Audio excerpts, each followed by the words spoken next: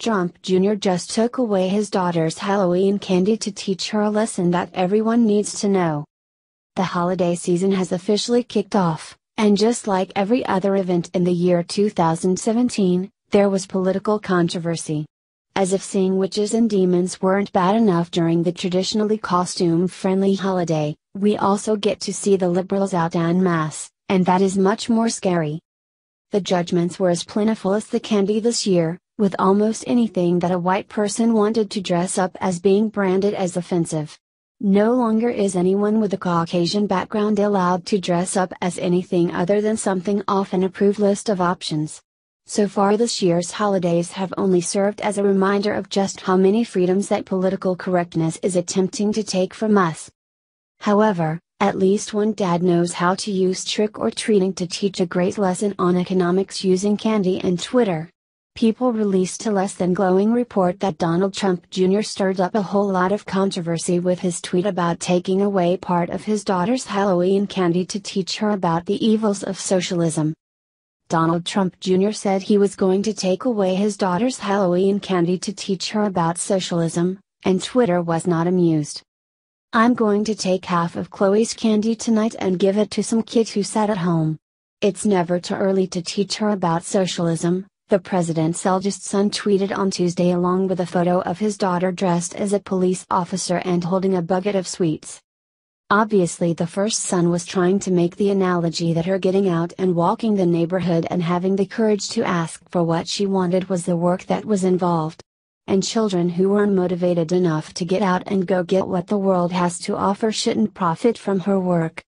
You teach her about nepotism and fraud every day, singer John Legend responded. I guess it's good to teach socialism to mix it up. It's unclear what information Legend has that the rest of us aren't privy to, but apparently he knows more than the FBI about Don Jr.'s dealings. I guess the left knows everything. Legend wasn't alone in his attacks. Infamously liberal Harry Potter creator, J.K. Rowling, also threw her two cents into the mix.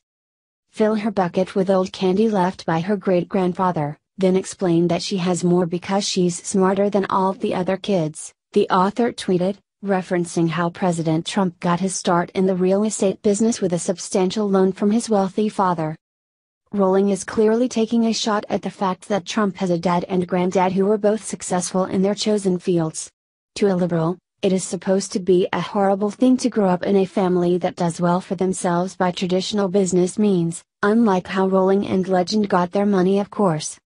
The only problem with Rowling's insults is that she's placing every bit of the credit for Trump's success with his dad and granddad. It doesn't take long to understand that the success had to start somewhere. As far as we know, Trump Sr.'s dad wasn't wealthy, and he made good. And his success was nothing compared to the billions amassed by our president. The theory also doesn't hold water when you consider just how many children of wealthy people take their trust funds and burn through them living the high life and wasting money.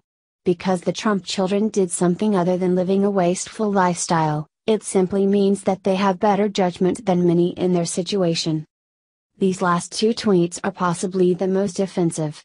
You can disagree with Trump's joke, or you can say that it's a bad analogy, or just be an out and out socialist and all of that is fair game. However, these two seem to be insinuating, if not outright saying, that the Trump family isn't generous. And that is the lie. According to Forbes, the Donald J. Trump Foundation gave away $10.9 million from 2001 to 2014, taking a scattershot approach to philanthropy with donations to more than 400 different charities, according to a Forbes analysis of 14 years of IRS documents. However, all of that notwithstanding, the Trump family knows how to have a good time and Don Jr. did pick something from the approved list of costumes for males of Caucasian descent, he went as his dad. We know that all is well because the Trumps are still stirring up social media and the left is still taking the bait, every time. And that makes for a happy Halloween, Halloween.